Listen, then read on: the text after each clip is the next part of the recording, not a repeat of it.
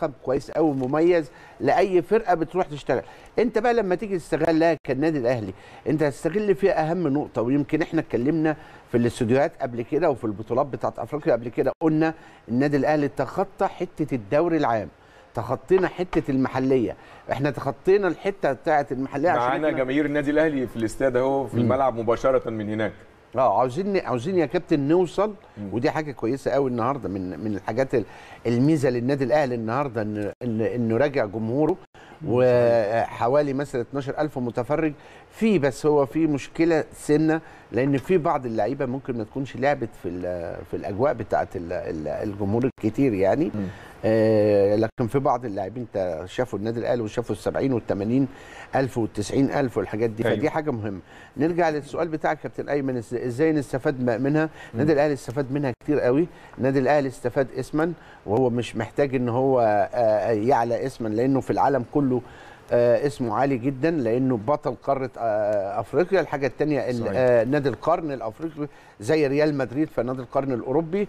فدي حاجة كبيرة جدا إنك أنت تتواجد في كأس العالم للأندية وأتمنى كمان إن الناس تفهم حاجة مهمة قوي إن اللي ما بي اللي بيروح كأس العالم للأندية دول من الصفوة بتاعه الأندية بتاعه العالم. لأنك بتيجي ما بع- بعد مكسب قاري وبعدين تت- تتقابل ما فيش إلا يمكن آه، ال- اللي هو بيستضيف البطولة هو اللي بيبقى ما بياخدش ال- الت- التصفيات. علشان تاخد التصفيات انت لما تروح كاس عالم وتروح اي حاجة لازم تلعب تصفيات. مظبوط. لا تصفياتها دي انك انت تفوز بالبطولة القارية. فالنادي الأهلي يستاهلها واحد ممكن أضيف بس حاجة. طبعا على المكاسب النادي الأهلي أيوة. على مستوى ال marketing على مستوى وجود شعار النادي الأهلي. اولا إحنا عارفين شعار النادي الأهلي بقى في الفيفا في متحف الفيفا. صحيح. ده شيء عالمي وصعب جدا أي نادي يوصل له آه، غير بعد مشوار طويل جدا. كمان بنتكلم على آه، القرعة واسم النادي الأهلي حتى لما عملوا القرعة ال- ال- ال strips أو الشرايط بتاع القرعة هتتحط كمان في متحف الفيفا.